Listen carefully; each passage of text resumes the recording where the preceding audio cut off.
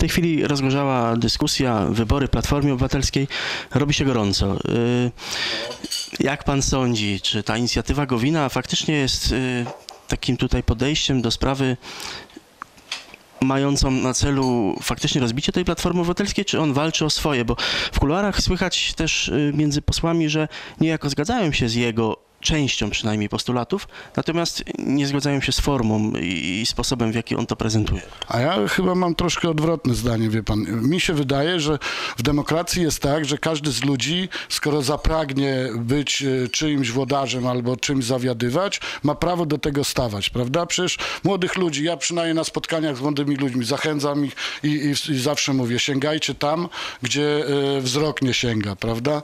E, I nawet jeżeli wam się to nie udaje, to nie znie, znie, zniechęcajcie się. Ja myślę, że pan Gowin e, e, odważył się na bardzo wielkie przedsięwzięcie. Pewnie będzie człowiekiem przegrany w tym przedsięwzięciu, e, ale też myślę, że to, co w tej chwili dzieje się w Platformie, powinno włodarzom Platformy dać do myślenia, bo jest mało dzisiaj dyskusji w Platformie. Zobaczy pan u nas w mieście, Platforma Powiatowa nie działa w ogóle. Tak, zarząd powiatowy nie spotkał się praktycznie ani razu, chyba, że się spotykał bez mojej osoby, E, bo jeżeli tak, no, no to, to e, a, a mamy już następne wybory, prawda? Teraz będziemy szli do naszych członków i powiemy znów, ja chcę zostać przewodniczącym Platformy, prawda? E, W kole, w którym ja byłem, ze stu iluś członków zostało dzisiaj, przeglądaliśmy listy, zostało 40, a wiemy, że jeszcze będzie ich mniej, więc coś się złego dzieje w tej Platformie i może dobrze, że, że rozgorzała ta walka między panem Gowinem i panem Tuskiem i panem premierem Tuskiem, bo ja myślę, że to powinno dać do myślenia, że trzeba zacząć z powrotem rozmawiać, nie rządzić, nie dzielić, ale rozmawiać i wykorzystywać te rozmowy właśnie do celów takich, żeby, żeby wzmocnić platformę, bo platforma dlatego, że przestała słuchać, dzisiaj jest w tym miejscu, w którym jest. Tak, tylko koniunktura jest tutaj niesprzyjająca, no i to zawsze wiąże się z jakimiś spadkami, prawda?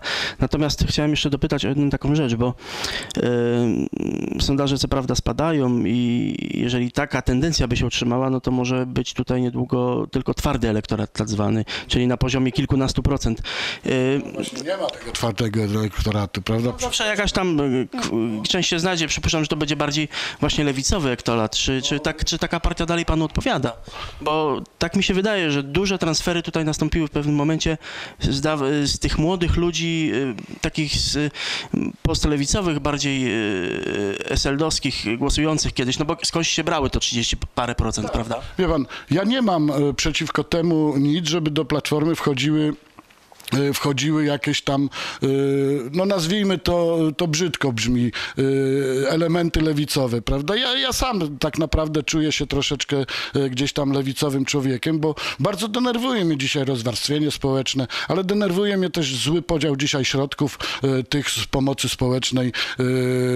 Tak naprawdę z jednej strony gdzieś tam rozdajemy pieniądze, a z drugiej strony potrzeba nam tych pieniędzy tak wiele, że, że gdybyśmy w jakiś sposób uściśnili ten system, m, przeorganizowali go, wyszli do m, ludzi, którzy tworzą miejsca pracy z pieniędzmi, a nie do tych, którzy powinni je otrzymywać, to myślę, że to byłoby lepsze. To e, długo by nad tym dyskutować, prawda? Pomysłów jest wiele, ale no, dziś jest zły czas, dziś się tych wyborów znów tyle narobi. Za, e, tu mamy w Platformie, za rok mamy wybory samorządowe, e, już e, na, na wiosnę mamy wybory do Europarlamentu, e, ale i zaczy, zaczy, zaczynamy tracić jakby kontakt i przepraszam, zaczynamy jakby tracić kontakt e, i z członkami Platformy Obywatelskiej, ale też i z mieszkańcami naszych miast, naszych gmin. Y, Trzeba jak najszybciej do tego wrócić. Gowin o tym mówi, trzeba o tym posłuchać. Y, Nie tylko zarzucać mu, że on się odważył na coś, co, co, czego nie powinien się odważyć. Demokracja ma to do siebie. Każdy może sięgać po to, co mu się żywnie podoba. Ale nadal jest pan, y, jak to sam pan o sobie powiedział, cytuję, Dona, fanem Donalda Tuska. Tak. Czyli w nadchodzących wyborach zagłosuje pan zapewne na niego. Ja już zagłosowałem za Donaldem Tuskiem, moje, moje, moje, mój głos już poszedł. E, Głosowałem na, na Donalda Tuska, bo ja, e, ja w Tuska wierzę. To jest od wielu lat jeden e, z lepszych, jeżeli nie najlepszych premierów, jakie do tej pory byli. Ja jestem przekonany, że oprócz tych wszystkich perturbacji, które są to Tusk przeprowadził nas przez ten kryzys naprawdę dosyć bezpieczną nogą, yy, czy bezpieczną ręką, a yy, na dość takich twardych nogach i yy, my te kłopoty musimy przezwyciężyć, bo to są kłopoty kryzysu. Ja wiem, przecież dziś w Grudziądzu bardzo gorąca sytuacja, przyjeżdżają rolnicy, strajkują, prawda? To się nie bierze znikąd.